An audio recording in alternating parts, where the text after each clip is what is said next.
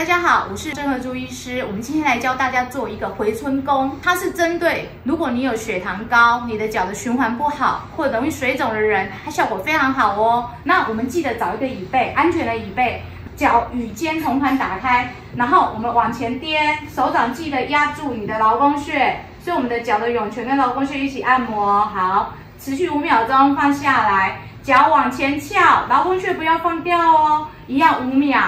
这样子连续做二十次，尽可能一天做三个回合到五个回合，这个效果就会非常的显著。